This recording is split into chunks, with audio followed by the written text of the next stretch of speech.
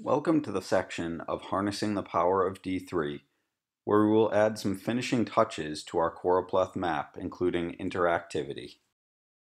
First, we will add a legend to our map. Next, we will add some basic interactivity in the form of zooming. Finally, we will learn how to add custom tooltips to our map. Let's get started. In this first video, we will add a legend to our choropleth map. We will begin by using a D3 scale to map our map colors to population density values.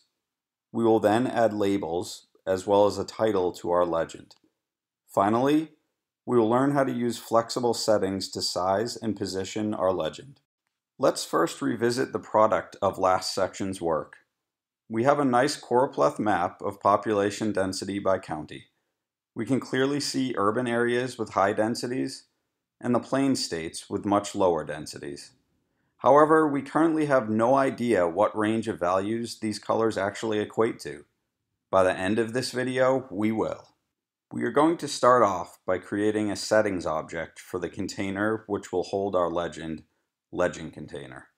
You could simply hard code these values into the appropriate attributes of our legend container, but our approach will allow for much more flexibility. These settings are not only used to size and position this container, but are also relied on by the text and color boxes which will appear in our scale. Our container will be an SVG rectangle, so it requires x, y, width, and height attributes. The Rx and Ry attributes are optional, and we use them to slightly round the corners of our container. The final attribute we set is ID. We have several styles for this container that will not change, so we set them in CSS rather than here. Here are our basic legend container styles. A white background with 0.9 opacity, and a thin gray border set through stroke and stroke width. Back to choropleth.js. I'd like you to notice how many times we are calling dot .attr to set attributes. There is actually a cleaner way to do this, but it is not built into the core D3 v4 library. That's fine though, because D3 is modular and allows us to easily import extensions. Let's do so now. The D3 selection multi-module has exactly what we're looking for. A quick glance through the documentation reveals that this module will allow us to use the plural form of both attr and style, attrs and styles to set multiple attributes or styles concisely. All we need to do to gain access to this functionality is add the following script tag to our index.html. Simply add this script tag and we will be ready to refactor our code. Here we see our refactored code looking much cleaner.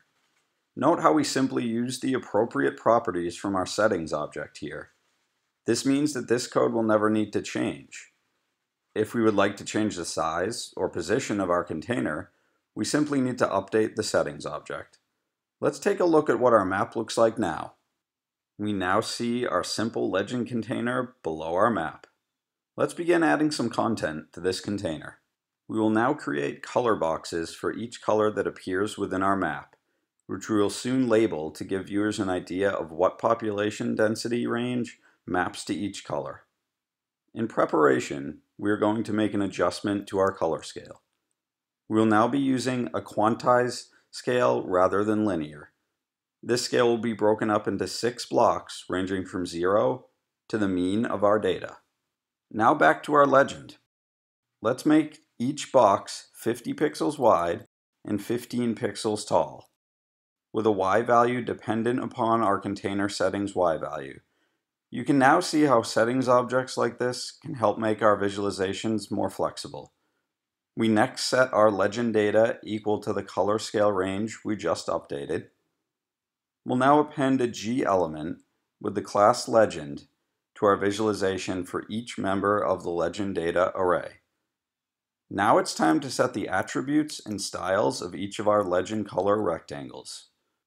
We know that x, y, width, and height attributes are necessary, and all but the x attribute comes from our legend box settings object. Our x attribute depends on legend box settings, along with the index of each value in our legend data array. This way our colored boxes are laid out one after another and will resemble a scale. We now use the plural styles property to fill each of our boxes with the appropriate color. Let's take a look at the result in our browser. We have successfully added a color scale to our legend. Now it's time to label this scale. Before we get started appending labels to the legend, we should write a couple functions to format our data as well as get our domain density values from our range. First, let's make use of D3 formatting for the first time.